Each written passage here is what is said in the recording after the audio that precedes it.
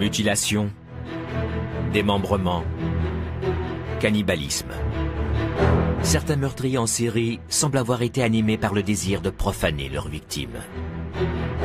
She had beautiful legs, and I wanted to keep those legs. Il a posé sa tête au-dessus du foyer. Il s'est mis à hurler et à lui crier des insultes. Le psychologue judiciaire Louis Schlesinger sonde l'esprit des tueurs en série depuis plusieurs décennies. Tuer n'est pas suffisant pour ces gens-là. Ils ont besoin de plus. Par exemple, de mutiler les cadavres. L'enquêteuse Jackie Sebeer est une experte de la mécanique du meurtre. Ce grand champ est parfaitement isolé. L'endroit idéal pour enterrer un cadavre. Ensemble, ils analysent une série de crimes sordides. Je n'ai jamais vu de cas où le meurtrier allait aussi loin dans l'horreur. Qui sont impossibles à oublier. Savoir que votre enfant a été découpé en 80 morceaux, ça vous hante pour le reste de vos jours. Ils cherchent à découvrir si en fait, ces meurtriers sont des tueurs nés. Il m'a fixé et s'est mis à rire comme un fou. Il m'a dit que j'allais mourir.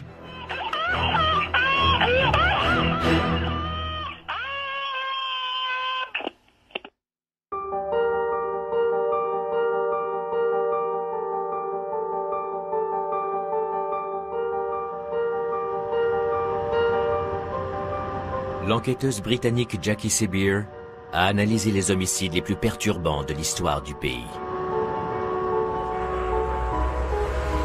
Elle traverse le Yorkshire jusqu'à la ville historique de Bradford pour enquêter sur une série de meurtres commis il y a quelques années. La ville de Bradford se trouve au pied des montagnes Pennines.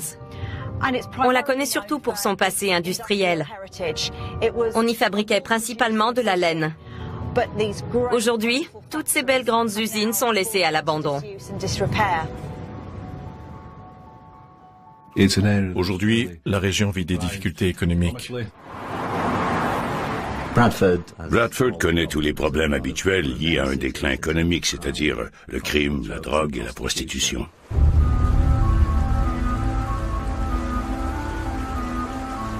Près de la rivière Aire, le petit village de Shipley échappe à tous les fléaux urbains de Bradford. En 2010 pourtant, on y fait une macabre découverte. L'enquêteur Colin Prime rejoint l'équipe envoyée sur les lieux.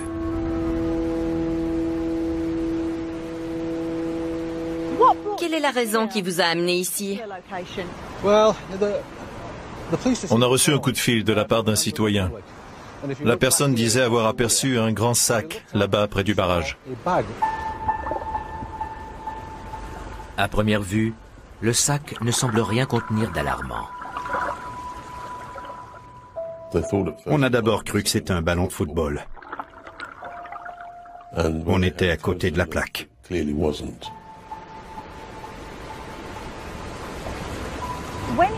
Qu'est-ce que c'était exactement En réalité, le sac contenait une tête.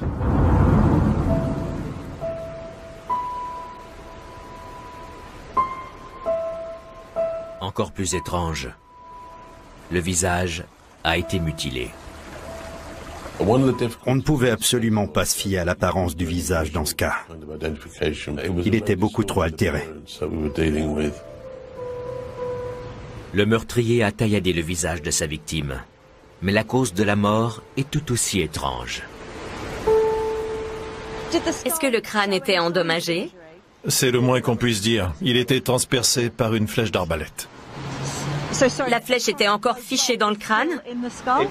Plantée dans l'os, oui.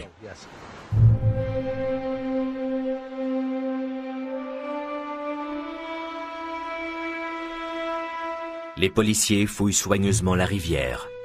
Ils ne se doutent pas un instant de ce qui les attend. On a retrouvé environ 80 morceaux de cadavres. 80 80. Durant toute ma carrière, je n'ai jamais vu de cas où les mutilations étaient aussi graves et nombreuses.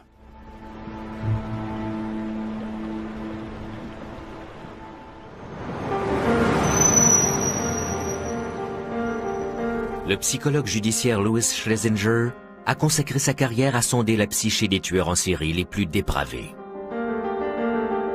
Selon lui, la découverte du corps déchiqueté en mille morceaux indique un esprit particulièrement tordu. Le démembrement est parfois une façon pour le tueur de se débarrasser du corps. S'il a mutilé sa victime par-dessus le marché, cela signifie qu'il a agi sous le coup d'une pulsion sexuelle. Il voulait vérifier par tous les moyens que le cadavre n'avait plus aucune trace de vie, qu'il était totalement à sa merci. Durant les années 60, à Cape Cod, on découvre que Tony Costa a assassiné et disséqué quatre jeunes femmes dans les bois. On a trouvé une tête dans un sac de plastique, une tête coupée. C'était horrifiant.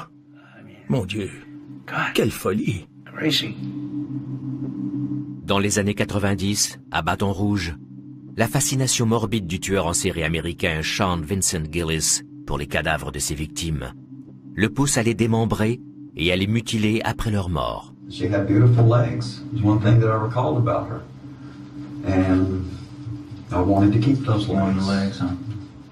Ça le stimulait de disséquer et de mutiler des parties d'un corps humain. Plus ça durait longtemps, plus il trouvait ça jouissif. Ed Kemper démembre aussi ses victimes, mais il réserve un traitement de faveur à sa mère. Il la tue et lui tranche la tête. Il l'a posée au-dessus du foyer et s'est mis à hurler et à lui crier des insultes.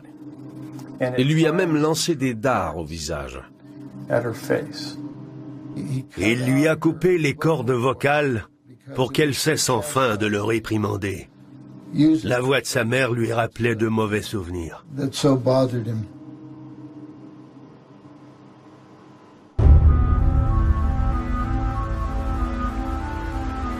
En mai 2010, à Bradford, dans le Yorkshire, les enquêteurs découvrent un cadavre en 80 pièces détachées dans la rivière Aire. Deux jours plus tard, on trouve le nom de la victime.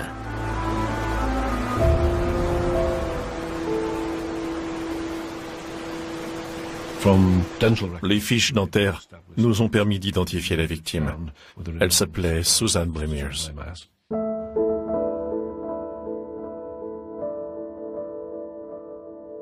C'est une fin tragique pour la jeune femme de 36 ans qui a grandi en banlieue de la ville.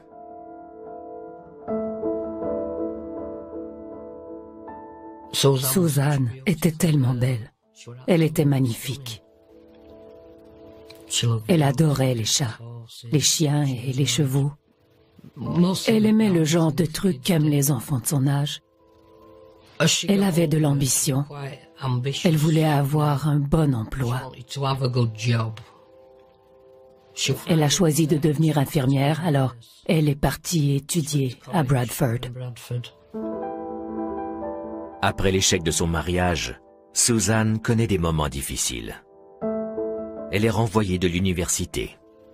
Elle m'a avoué qu'elle se droguait. Elle avait perdu le contrôle de sa vie. Elle ne savait plus à quoi s'accrocher.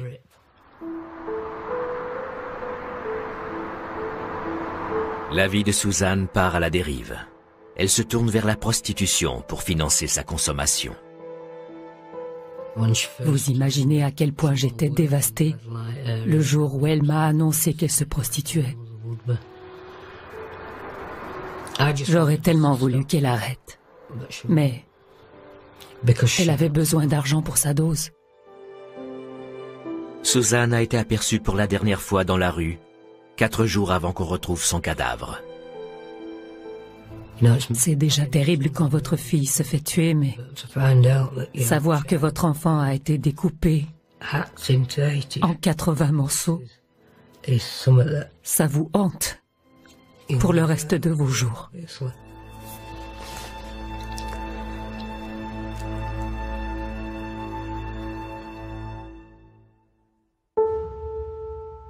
on découvrira bientôt l'identité du meurtrier qui a commis ce crime diabolique.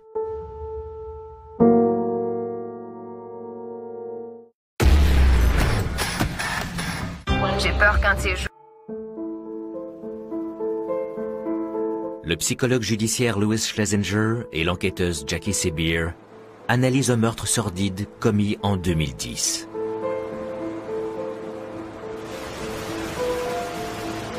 À Bradford, en Angleterre, on a retrouvé dans une rivière le corps de la prostituée Suzanne Blemiers, démembré et mutilé.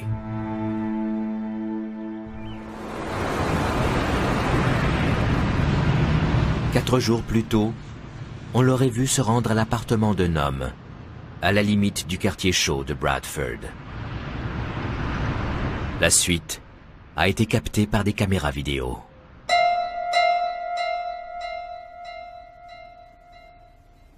Un journal a reçu un appel à propos d'un enregistrement en circuit fermé.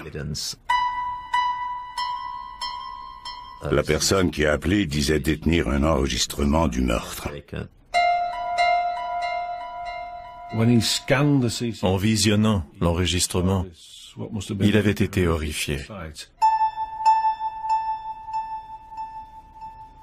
Stephen Griffiths, 40 ans, habite cet immeuble à logement. Le soir du drame, on le voit s'approcher de son appartement accompagné de Suzanne. L'enquêteuse Jackie Sebeer est sur les lieux pour établir la séquence des événements qui ont suivi.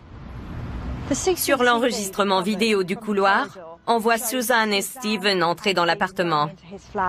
Suzanne en ressort presque aussitôt en courant.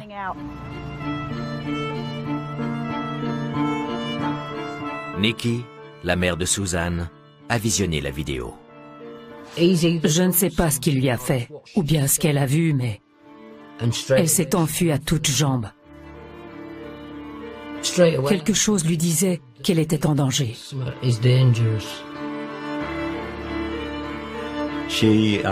Elle est partie en courant, Griffiths sur ses talons. Il était armé d'une arbalète. Il voulait l'empêcher d'atteindre la sortie, mais elle a paniqué et n'a même pas trouvé l'ascenseur. Personne ne s'attend au cauchemar qui va suivre. Ils se sont battus. Il l'a traînée par terre. Il lui a tiré une flèche d'arbalète dans la tête et a fini par la ramener dans son appartement.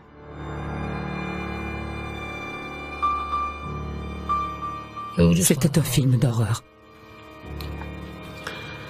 Un film d'horreur. Il est sorti peu après. Il a paradé tout au long du couloir en fixant les caméras vidéo. Il a tendu son majeur vers les caméras presque en signe de victoire. Il était fier de lui. Il tenait à ce que les spectateurs de cette vidéo sachent que c'était lui, le meurtrier.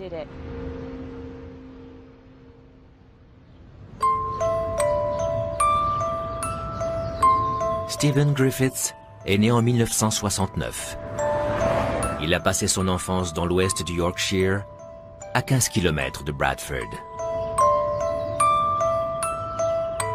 Le journaliste Paul Stokes connaît bien le village de Flockton. C'est ici que Stephen Griffiths a passé une partie de sa jeunesse Oui. Sa famille s'est installée ici lorsqu'il avait 5 ans. Il a fréquenté l'école primaire. Stephen était un petit garçon réservé. Il a vécu une enfance normale à tout point de vue. À 13 ans, Stephen Griffiths est admis dans l'une des meilleures écoles de Wakefield. Il a eu accès très jeune à une éducation d'une qualité exceptionnelle. Un camarade de Griffiths, Brian Butterworth, prend souvent le même autobus scolaire que lui. La plupart du temps, Steven s'assoyait en silence à l'arrière de l'autobus. Il se fondait dans le décor. Steven ne semblait pas avoir de passion ou d'intérêt particulier. Il allait à l'école parce qu'il le fallait. Il faisait ce qu'on attendait de lui. Stephen Griffiths réussit bien à l'école, mais sa vie personnelle bat de l'aile. Il développe un profond ressentiment envers sa mère après la séparation de ses parents. Il m'a raconté plein de trucs sur sa mère. Il la détestait. Elle a vécu une sorte de crise de la quarantaine. Elle s'est mise à sortir et à faire la fête tous les soirs. Stephen Griffiths, de plus en plus solitaire, a des comportements étranges. Ses anciens voisins ont assisté au changement. Stephen a adopté un mode de vie nocturne. Il s'est mis à tirer sur des oiseaux avec un fusil à air comprimé. Ça n'a rien d'étonnant pour un jeune homme de la campagne de chasser des oiseaux. C'est vrai, mais écoutez bien la suite. Continuez. Il s'amusait avec ces oiseaux morts. Il leur arrachait des morceaux et il les brutalisait. Il ne se contentait pas de les tuer. Il faisait durer le plaisir.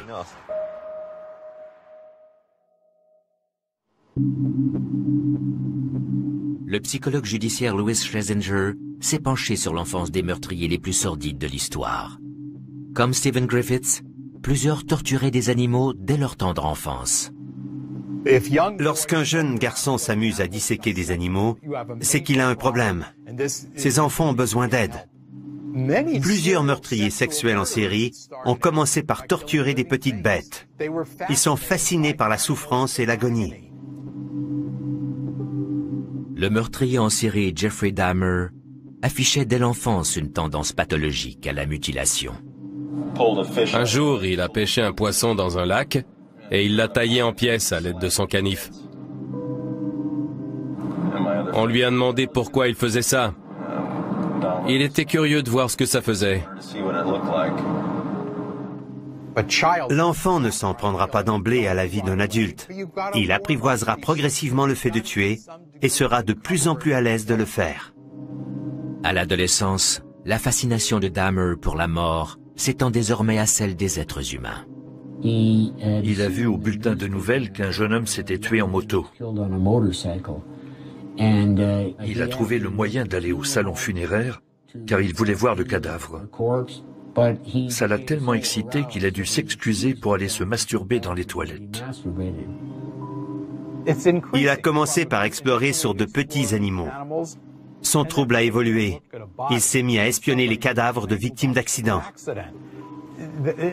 Il avait des comportements anormaux. Il était pervers. À Bradford, en Angleterre, après avoir été passionné par la mort de petits animaux, Stephen Griffiths développe une passion pour les reptiles.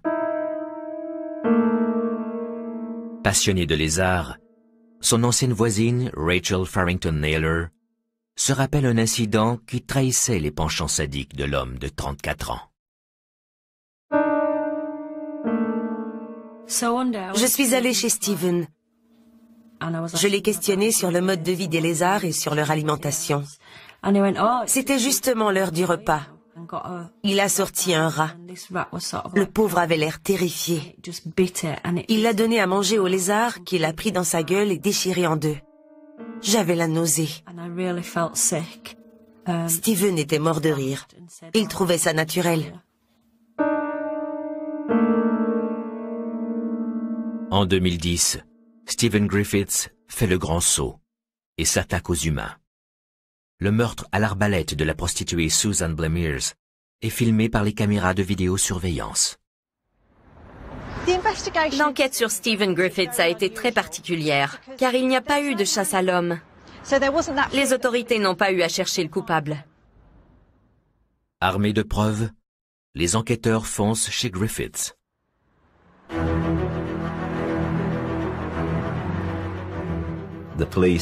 Les policiers ont organisé une colossale opération armée. Ils craignaient la fusillade. Rachel Farrington Naylor passe justement par là. On était en voiture. On arrivait de cette direction. D'accord. On a vu qu'il y avait un barrage policier devant la façade du bloc. Ils étaient armés jusqu'aux dents. Quand ils ont frappé à la porte, il leur aurait répondu « Je suis Osama Bin Laden ». Il n'y a pas eu de fusillade. Il s'est rendu sans problème. Le meurtrier de 40 ans ne perd pas son calme, même durant l'interrogatoire.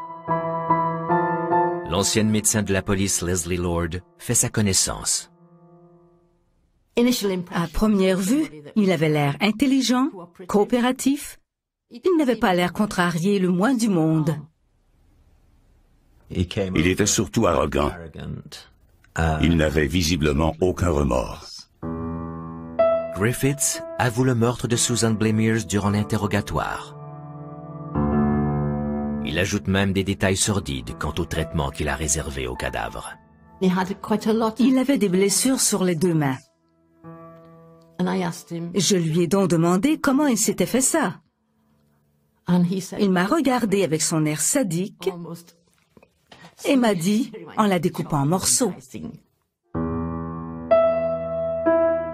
Griffiths a découpé le corps de Susan en plus de 80 morceaux dans son appartement de Bradford. On n'en voit pas tous les jours des criminels qui vont aussi loin dans l'horreur. Durant toute ma carrière, je n'ai jamais vu un cas de démembrement aussi extrême.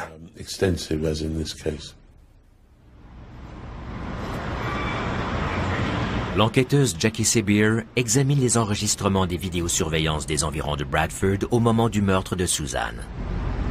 Elle apprend ainsi comment Griffiths s'est débarrassé du corps. Après avoir tué Suzanne, il a transporté ses restes en transport en commun.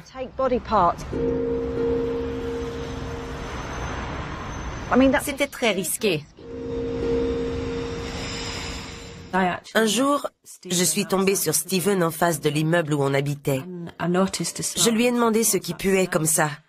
Steven m'a dit qu'il avait un lézard mort dans son sac à dos. Il allait s'en débarrasser. Il traînait dans son sac à dos la tête de Suzanne, avec une flèche de bord en bord. Il s'est débarrassé des morceaux de cadavres dans la rivière Air. Les sinistres aveux de Griffiths révèlent des informations inattendues. C'était son heure de gloire. Il était arrogant. Il nous a avoué qu'il avait fait d'autres victimes.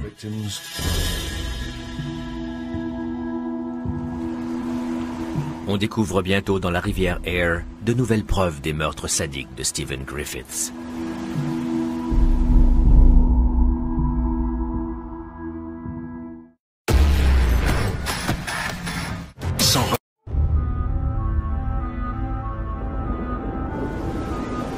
En mai 2010, à Bradford, en Angleterre, Stephen Griffiths avoue avoir tué et mutilé la prostituée Suzanne Blamiers.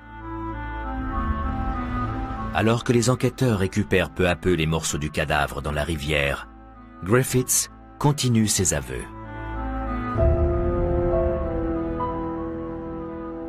J'étais à la rivière Air avec mon équipe. Les gars du poste nous transmettaient ces aveux en temps réel. Stephen Griffiths avoue avoir déjà commis d'autres meurtres. Ce que vient confirmer la dernière trouvaille de l'équipe de recherche. À force de fouiller la rivière Air de fond en comble, on a fini par trouver les restes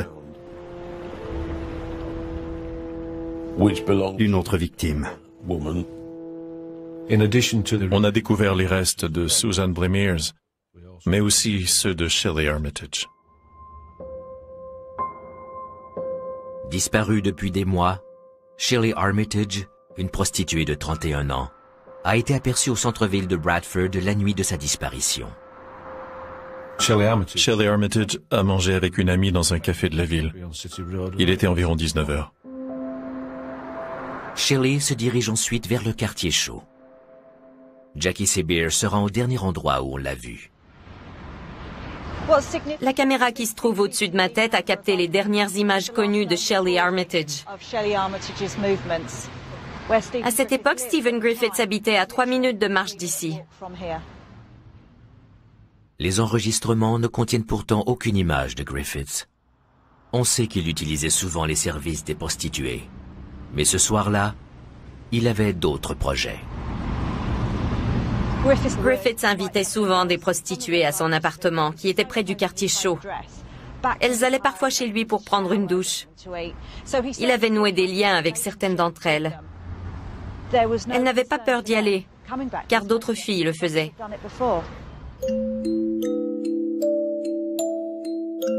À l'âge adulte, Stephen Griffiths fait généralement bonne impression. Son ancienne compagne Kathy a été séduite par ce jeune homme brillant. J'aimais bien ses cheveux longs. Um, en fait,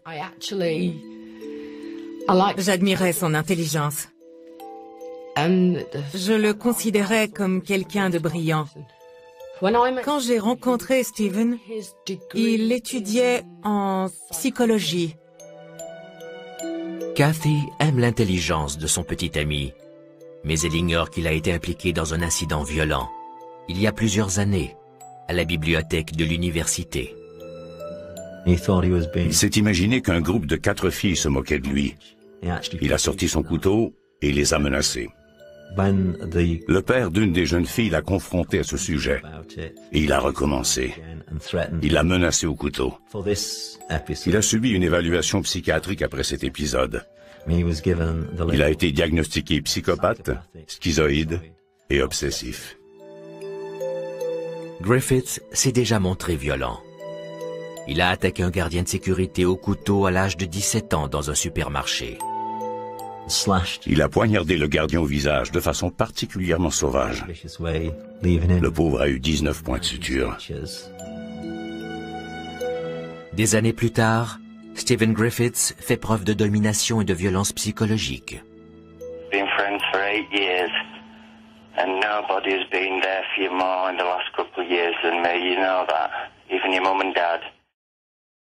Après la lune de miel, Cathy devient rapidement prisonnière dans sa propre maison. Il m'empêchait de voir ma famille et mes amis.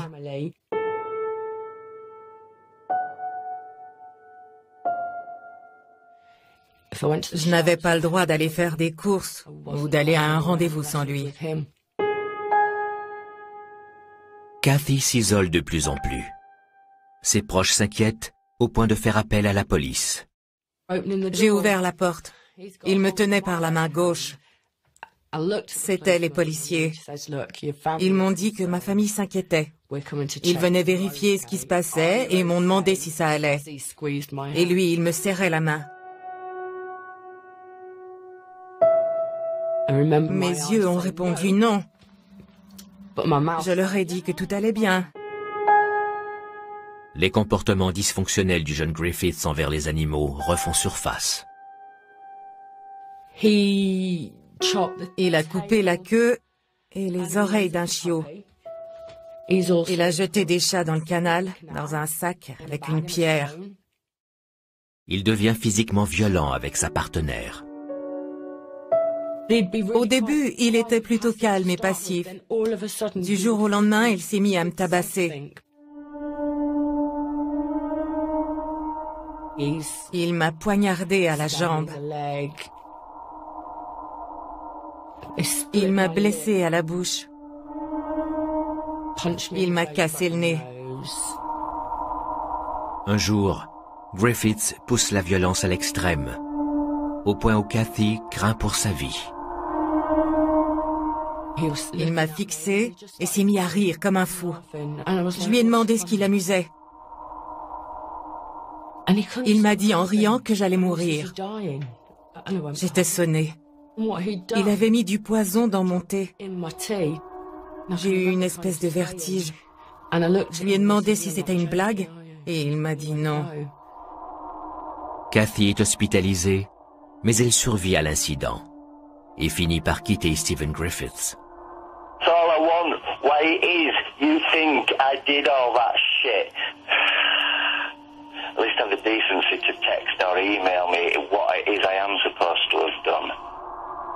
Kathy garde ses distances et tente de refaire sa vie.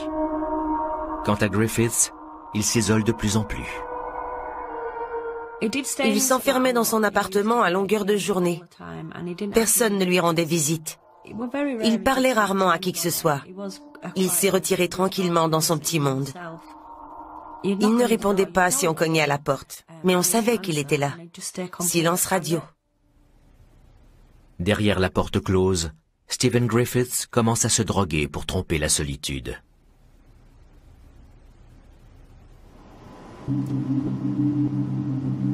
Louis Schlesinger a observé cette phase d'isolement dans la vie de plusieurs tueurs en série.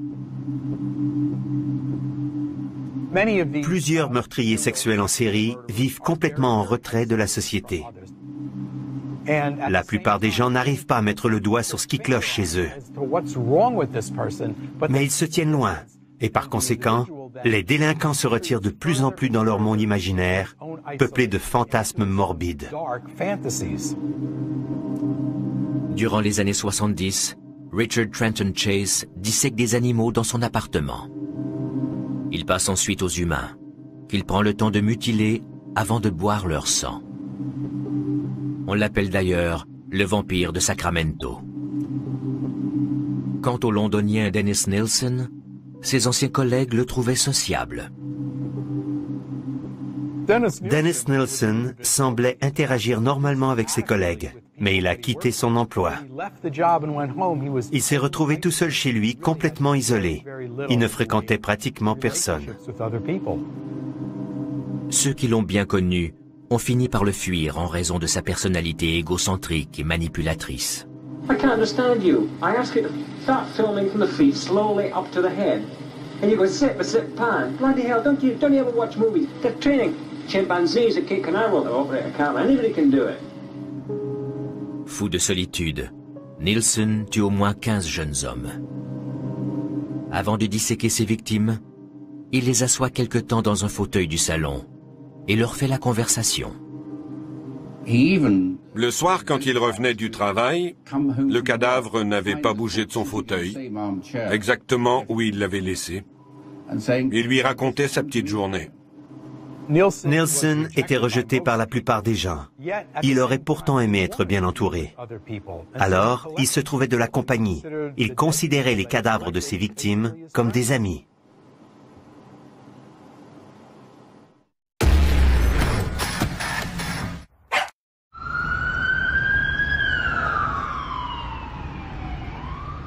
En 2010, à Bradford, Stephen Griffiths avoue avoir tué et mutilé deux prostituées. En fouillant son passé, les enquêteurs découvrent qu'il s'est isolé durant les années précédant ses crimes, plongeant de plus belle dans ses obsessions morbides.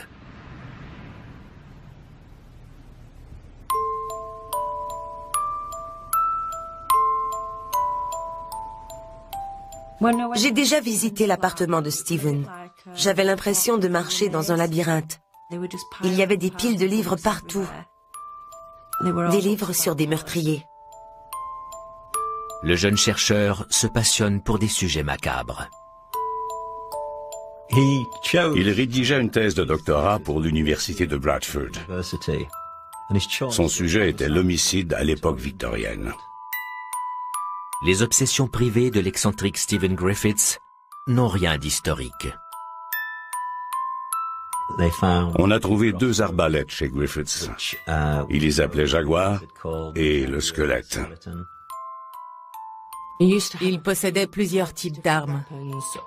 Il portait toujours son fidèle couteau et il gardait de l'ammoniac sur lui, dans une vieille bouteille de plastique, pour en lancer sur les gens.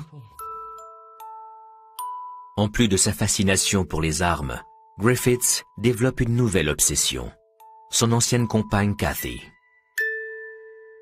Don't make me do this, Kathy. I swear to God, all I did was ring your mum and dad and I sent you some nasty texts. That's all I did.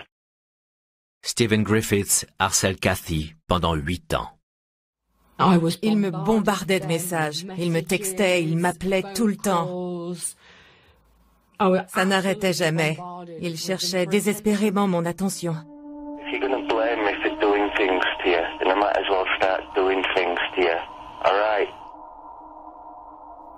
Il a fait le tour de ma maison.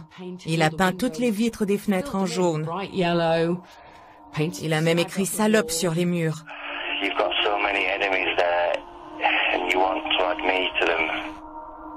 Un de ses messages me disait que je lui manquais, que j'étais tout pour lui.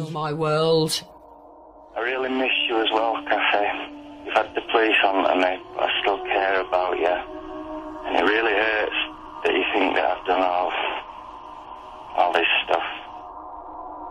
Parmi tous les messages déplacés qu'a reçu Cathy, il y en a un qu'elle n'oublie pas. Le répondeur est parti et je l'ai entendu. Il riait au téléphone. Un ricanement démoniaque.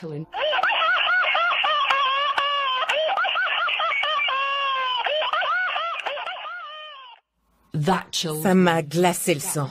J'étais vraiment terrorisée.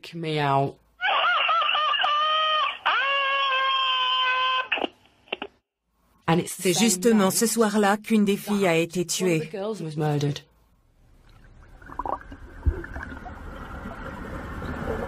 En mai 2010, Stephen Griffiths est en garde à vue et avoue le meurtre d'une deuxième prostituée, Shirley Armitage. On a retrouvé sa trace dans la rivière Air.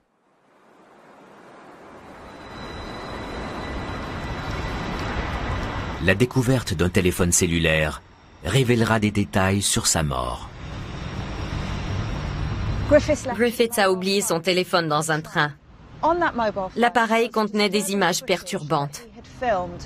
Il s'était filmé en train de profaner le corps de Shelley.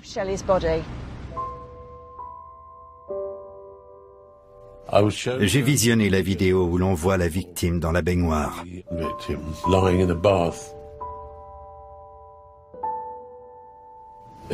On voyait bien qu'elle était morte.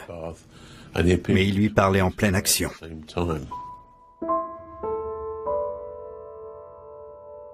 La pénible vidéo filmée chez Griffiths révèle un détail particulièrement pervers. Sur le dos de la jeune femme, il avait écrit ⁇ Je suis une esclave sexuelle ⁇ Dans sa narration, Griffiths dit ⁇ Je suis l'artiste du bain de sang et voici un de mes modèles. Je suis persuadée que Griffith voulait qu'on trouve son téléphone. Il voulait choquer la personne qui verrait ces images. Ce qui nous ramène à son désir de contrôler son entourage, à son sensationnalisme. Il voulait qu'on voit son travail. Stephen Griffiths n'a pas fini de faire les manchettes. On apprendra bientôt que le démembrement et la mutilation ne sont pas les seuls aspects choquants de ces meurtres.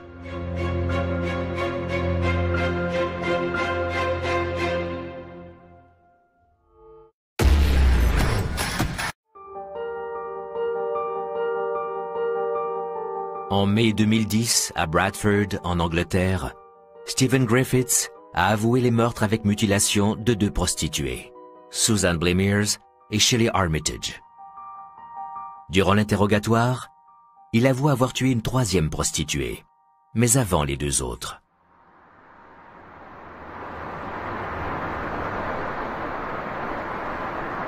Onze mois plus tôt,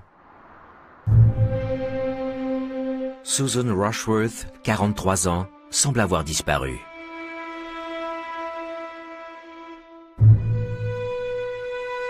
Elle meurt tragiquement dans l'appartement de Griffiths.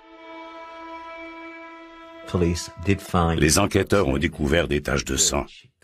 C'était le sang de Susan Rushworth. Il a donc tué ses trois victimes dans ce même appartement.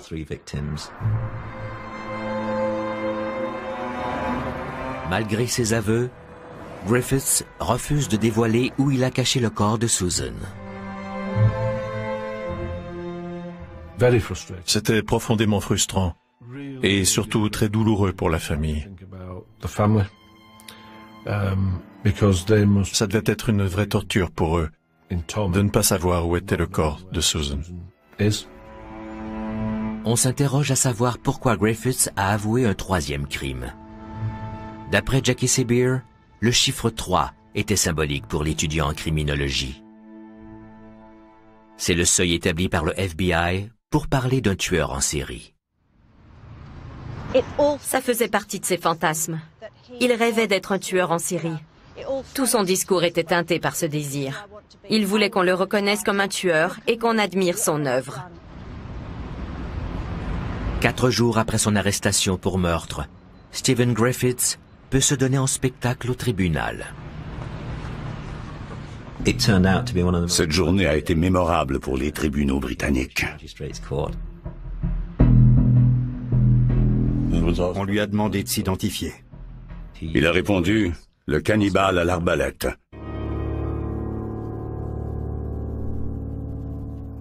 Ce qui a jeté un froid dans l'Assemblée.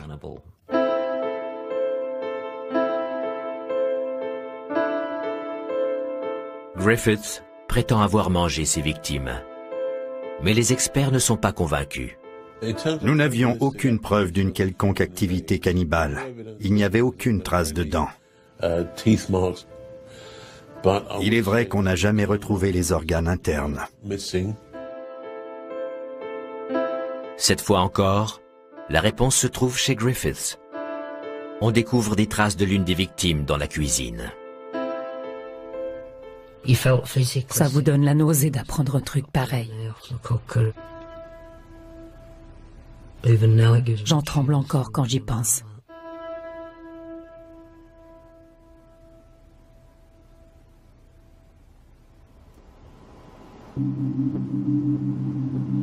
Louis Schlesinger suppose que Stephen Griffiths a mangé de la chair humaine dans le seul but de passer à l'histoire. Il étudiait les meurtres sexuels. C'était une obsession pour lui. Il voulait devenir célèbre en tant que tueur en série. Il s'est nommé le cannibale à l'arbalète pour se distinguer des autres meurtriers sexuels en série. Parmi cette catégorie particulière de criminels, le cannibale Jeffrey Dahmer, grand amateur de chair humaine, a marqué l'histoire des homicides.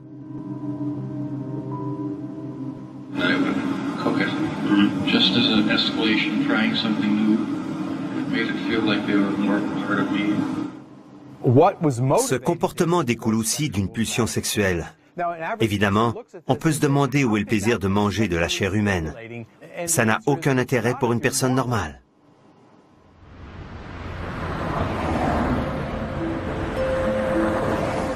Le cannibale autoproclamé Stephen Griffith est jugé coupable des meurtres de Susan Rushworth, Shelley Armitage et Susan Blamiers en décembre 2010.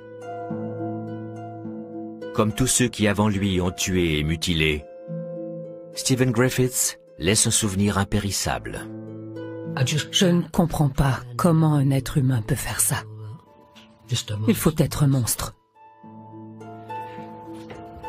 Ça a toujours été un jeu pour lui. C'était plus sérieux pour les autres. Il a fait tout ça pour le plaisir de choquer. Jackie Sebeer s'intéresse aux actions commises par Griffith après le décès de ses victimes. Il a tué Suzanne à l'arbalète. C'est un moyen rapide et efficace. Et pourtant, il a passé un temps fou à démembrer son cadavre. C'était pour lui un moyen d'affirmer sa puissance, de se sentir en contrôle, de dominer sa victime même après sa mort. Les fantasmes pervers de Stephen Griffiths le placent dans une classe à part. Ce groupe de monstres qui ont poussé l'horreur jusqu'à profaner leurs victimes. Jeffrey Dahmer, Sean Gillis, Edmund Kemper, Stephen Griffiths étaient tous motivés par la même pulsion. Tuer n'était pas suffisant pour ces gens-là. Ils avaient besoin de plus, comme de mutiler les cadavres.